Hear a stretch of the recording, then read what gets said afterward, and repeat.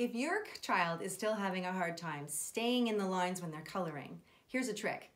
Find the thickest magic marker you can find and draw a border around the picture, sort of like this. So now they have a nice obvious border. So when they start to color, they can see that I'm supposed to stop right at that black line.